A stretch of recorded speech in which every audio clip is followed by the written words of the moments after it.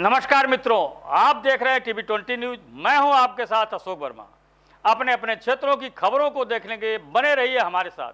अब शुरुआत करते हैं आज की ताज़ा खबरें।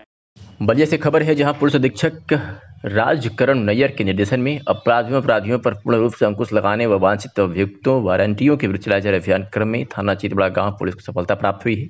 उल्लेखनीय है कि थाना चितबड़ा गाँव के प्रभारी निरीक्षक राकेश कुमार सिंह के कुशल नेतृत्व में उनकी पुलिस टीम के उप निरीक्षक सूर्यकांत पांडे मय फोर्स द्वारा अभियुक्त राजकुमार राजभर, पुत्र बुद्धिराम, राजभर निवासी ग्राम गौरा, थाना फेफना जनपद बलिया व महातीम उर्फ़ छोटक राजभर, पुत्र परशुराम परशुराम राजभर, निवासी कुबरी थाना करीमुद्दीनपुर, जनपद काजीपुर को रेलवे ब्रिज अंडरपास शाहपुर सड़क मार्ग धाम, धर्मापुर से गिरफ़्तार कर लिया है।